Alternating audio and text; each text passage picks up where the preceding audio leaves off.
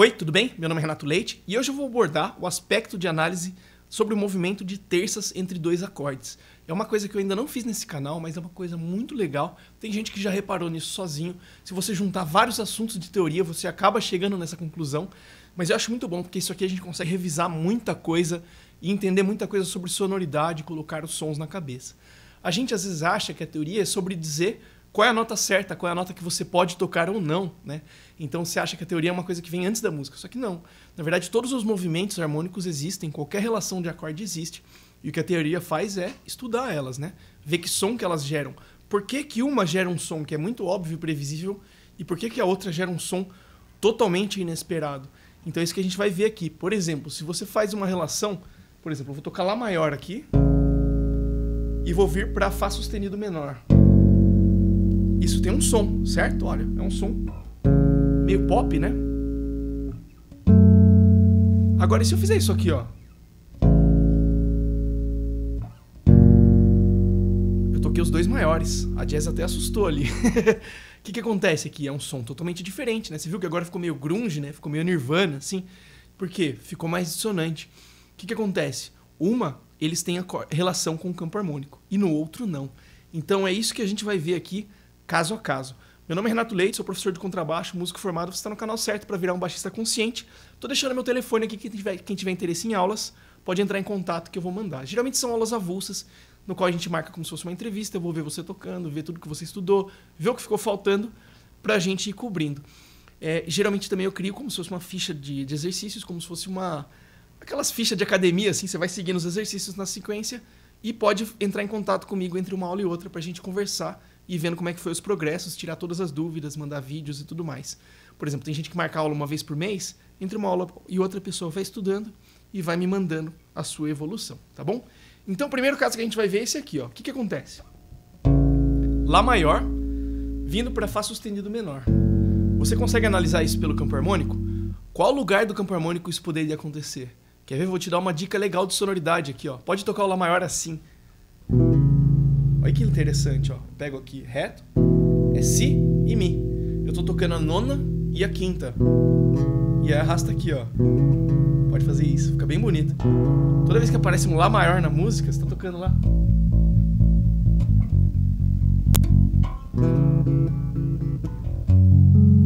E esse outro aqui que eu toquei, ó. Fá sustenido menor com nona.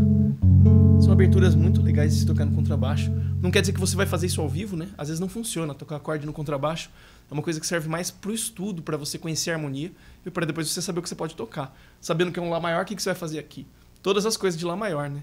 Dá para fazer empilhamento de quartas, campo harmônico, todos os modos relativos a eles e tudo mais. Bom, analisando isso aqui, o que acontece? Pode ser que isso aqui seja um do campo harmônico e isso aqui seja seis. Pode ser sim. Pode ser também que isso aqui seja 4, isso aqui seja 2. Então, como a gente não tem contexto aqui, pode ser essas duas respostas. E isso aqui se encaixa no campo harmônico. Pode colocar lá, escrever o campo harmônico de Lá maior, você vai ver que o Fá sustenido menor é o sexto. Se você escrever o campo harmônico de. de. Ah! Se você escrever o campo harmônico de Mi maior, você vai ver que esse aqui é o 4 e esse aqui é o 2. Então isso aqui se encaixa no campo harmônico. Por isso que isso aqui tem um som totalmente previsível, né? É um som que você já espera e ele não é muito dissonante, ele é um som que fica marcando tanto, né? Que é muito diferente de você tocar isso aqui, ó. Toca lá maior e fá sustenido maior. O que, que acontece aqui? Qual é a diferença desses dois? Oh, os dois são relação entre terça menor, né? A tônica deles tem uma distância entre terças menores. Só que agora, qual lugar do campo harmônico que você vai encontrar isso aqui, ó? Maior, aí décima terça e tem um outro acorde maior. Nenhum. Ou seja, isso aqui está fora do campo harmônico. Ou seja, essa é uma harmonia que não está. Esses acordes não são relativos entre si. Quer dizer o quê? Se você for fazer uma improvisação em cima disso aqui, você tem que pensar por acorde. Não dá para você achar uma única escala e aplicar aos dois acordes, né? Porque no outro exemplo você poderia fazer isso, por exemplo. Se você quer dizer que aquilo aqui é Lá maior, você pode fazer uma improvisação apenas baseada em Lá maior ou Fá sustenido menor, né? Isso aí se chama improvisar por centros tonais. Agora, quando você tem acordes que não são do mesmo campo harmônico, você não tem centros tonais. Quer dizer, tem, mas cada um é um. Então você tem que trocar de escala aqui quando você vem desse acorde para esse. Então improvisar nessa harmonia aqui é muito mais difícil do que improvisar na outra. E é muito mais legal também, porque será, né? Então um exercício muito legal é improvisar dentro desses dois casos. Então, ó, aqui, ó, Lá maior, Fá sustenido menor.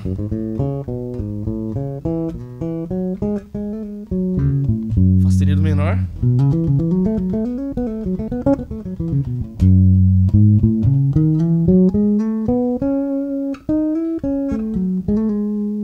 Certo? Só que aqui tá tudo dentro da mesma escala, né?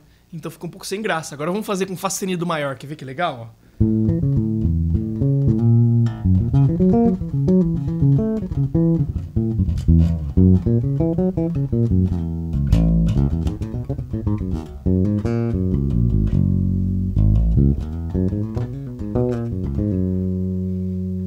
Cada um agora está dentro da sua própria escala.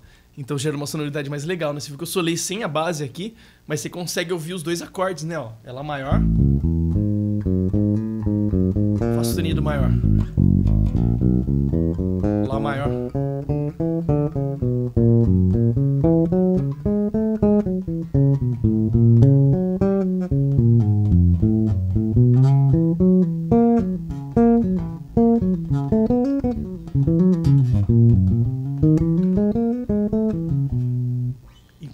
Interessante, né? Um baita de um exercício é solar em dois acordes que não tem relação entre eles, porque isso te obriga a não ficar solando por centro tonal. Então isso é um baita exercício. Vamos ver um segundo caso. E se esse aqui fosse menor, como a gente já viu, só que a gente vem para esse aqui, ó, menor também. O que, que mudou aqui? Mantivemos a relação de terça menor entre as fundamentais, porém esse tá menor e esse aqui tá menor também. Onde você vai encontrar isso dentro do campo harmônico? Também não tem. Poderia dizer que isso aqui é 7 e isso aqui é 2. Mas aqui no caso eu estou omitindo as quintas, né? Eu não estou falando que esse aqui é meio diminuto.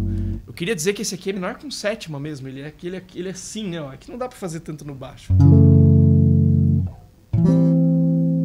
Então qual é a relação entre esses dois acordes? Não tem. Então o que, que você vai achar? Esse aqui é um campo harmônico, esse aqui é outro campo harmônico. Então olha a diferença disso, quer ver? Eu vou fazer o contrário. Ó. Menor, maior, menor e maior. Isso aqui tá tudo dentro do campo harmônico, né? Isso aqui é 2, 4, 6 e 5, certo? Então o que acontece aqui? Soa previsível, né? Porque tá dentro do campo. Então, ó. O que, que a gente pode dizer? Sempre que tiver no campo harmônico, se esse cara aqui for menor, esse é maior. E vice-versa. Se esse aqui é maior, esse aqui é menor. Isso para música está dentro do campo harmônico. Ah, Renato, mas a música tem que estar no campo harmônico. Não, né? Isso aqui vai existir, ó. Tem música que tem isso. E tem música que tem o contrário. Tem música que tem isso aqui, ó. Pô, mas soa muito estranho. Soa.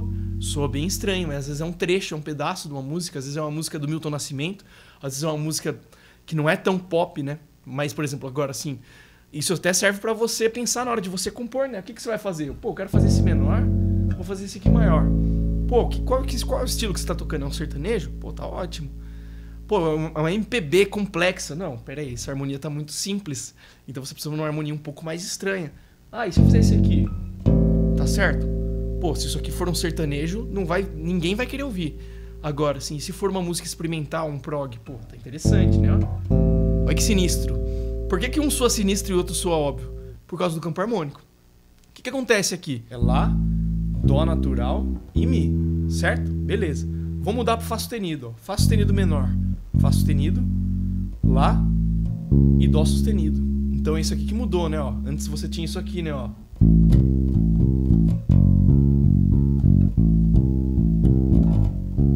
Ou seja, tem nota que tem que mudar para poder mudar de acorde. Então essa nota que muda é o que faz a diferença e é o que faz ficar dissonante. A mesma coisa vale, por exemplo, o anterior, né? O que, que acontece aqui? Ó? Você estava fazendo Lá maior.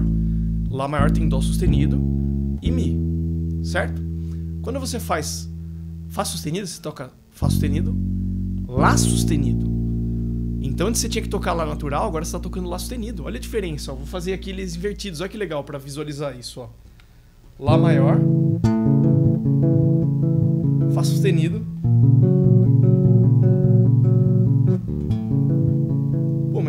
sim, eu fiz invertido. Então o que acontece? O Lá natural tem a nota Lá natural e o Fá sustenido tem a nota, a nota Lá sustenido. Então essa é a nota que fica mudando entre os dois, né? Se você pensar, ele vai ficar fazendo isso aqui.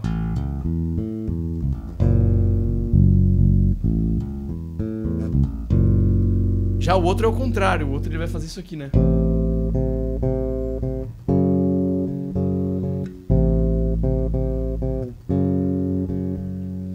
Agora pensa assim, você vai fazer uma música lá, sei lá, uma trilha, Senhor dos Anéis, o mundo já tá destruído. Pô, isso aqui é ótimo, né?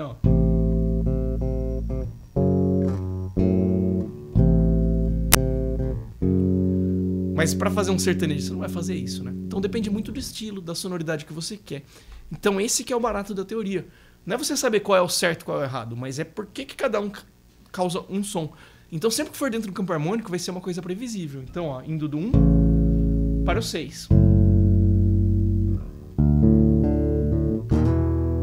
Indo do 4 para o 2.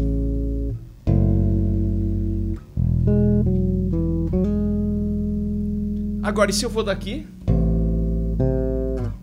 Olha que sinistro bonito também, né? Porque às vezes é essa sonoridade que você quer. Ou o contrário, ó.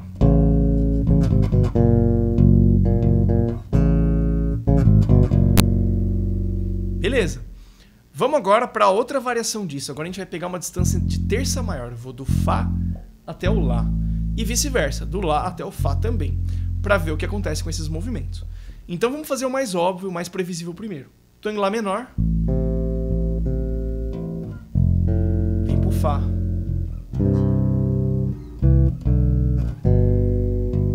Pô. Menor, maior. Então agora é o contrário do outro. Sempre que esse aqui for maior, esse aqui vai ser menor. Sempre que esse aqui for menor, esse aqui vai ser maior. E vice-versa. O que, que acontece aqui? O que, que seria estranho? Eu deixar esse aqui maior, ó. Isso é o mais estranho de tudo que dá para fazer. Ou deixar os dois menores, né? Ó, fazer esse aqui menor.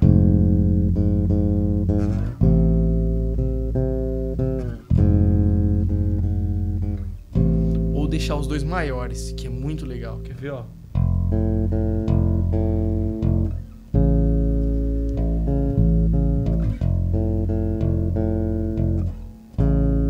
Tá, vamos contextualizar cada um desses.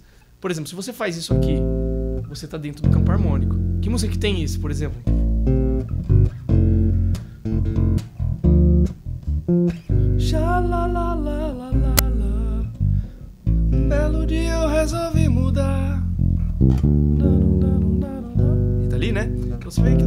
Pro Fá. Pô, isso aqui muita música tem, porque isso aqui é o campo harmônico. Então você vai encontrar isso aqui dentro de um monte de música, muita música mesmo. Agora, e se eu faço esse aqui menor? é como se eu tivesse um empréstimo modal. E é aqui é o tom menor. Então poderia acontecer, por exemplo, eu tô fazendo isso aqui, ó, por exemplo, fica bonito, ó.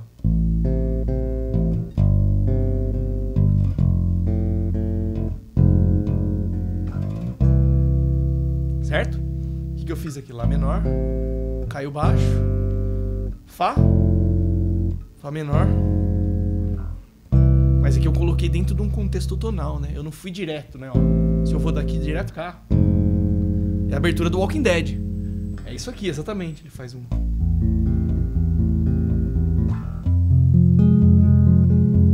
Fica sinistro também, porque sai do campo harmônico. Agora o contrário é muito legal. Se eu faço esse aqui maior, aí eu viria para cá menor. Esse é um recurso que se chama picardia. Parece que eu tô em Lá menor. E eu tô gerando campo harmônico de Lá menor. Só que a hora que eu chegar no Lá maior, eu, ele vai estar maior e vai ser uma surpresa. Né? Então existe essa cadência que é muito comum né, você fazer.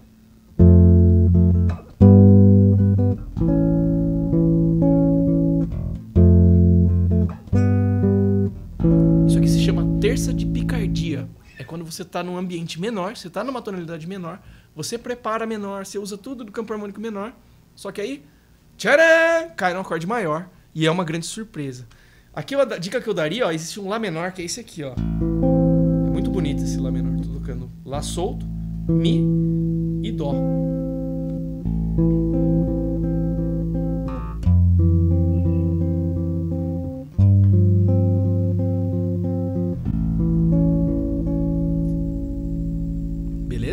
Essa é a terça de picardia. Então essa é a relação quando você tem esses dois acordes maior, maiores.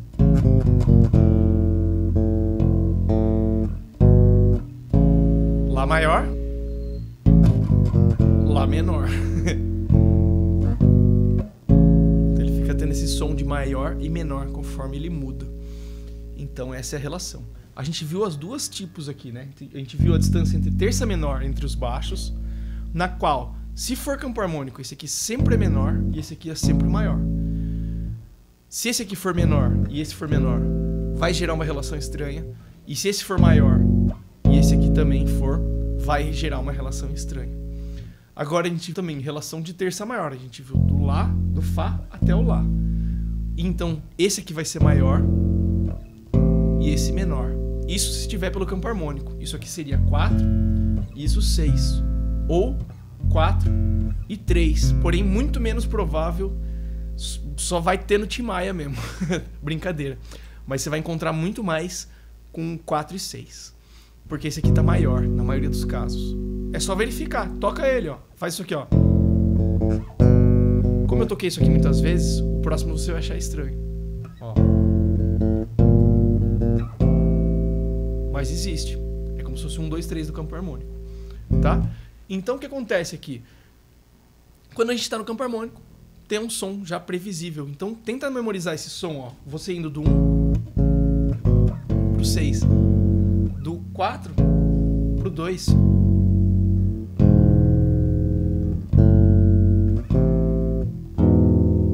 certo? E também memoriza essas distâncias aqui, se for assim, ó. Pô, tá estranho, né? Por que isso aqui soa mais dissonante? E o baixista poderia fazer isso aqui, ó, que legal. Pô, mas era Fá sustenido sim, é a terça. E é justamente a nota que muda. Então olha que legal, você faz aqui, ó.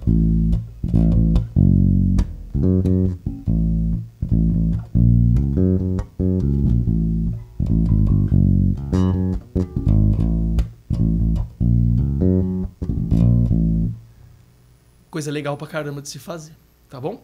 E eu acho legal, sempre tenta improvisar nesses acordes que não tem relação, por exemplo. Exemplo, ó, Lá menor, Fá menor, Lá menor.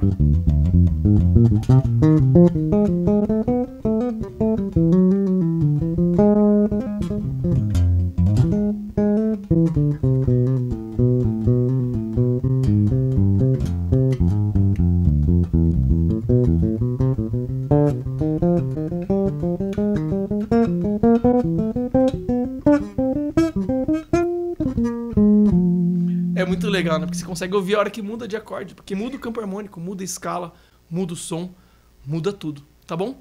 Então seria essa dica que eu daria para você. Escreve num papel, põe assim, ó, de Lá maior para Fá sustenido menor. Toca, toca, toca, vê o som. Tenta achar umas músicas que tem isso. Ah, agora eu vou fazer de Lá maior para Fá sustenido maior. Que músicas tem isso? Fica tocando, decora o som disso, improvisa um pouco em cima disso. E o contrário também. Por exemplo, pega Lá menor para Fá sustenido menor e aí toca esses dois, fica improvisando entre eles. Faz os, a, a relação de terça maior, enfim. Acho que vale a pena anotar isso e ficar tocando esses exemplos, porque você vai encontrar isso dentro de músicas, tá bom? Então é isso, muito obrigado a quem ficou até o final. Deixa o like aí, valeu e até uma próxima.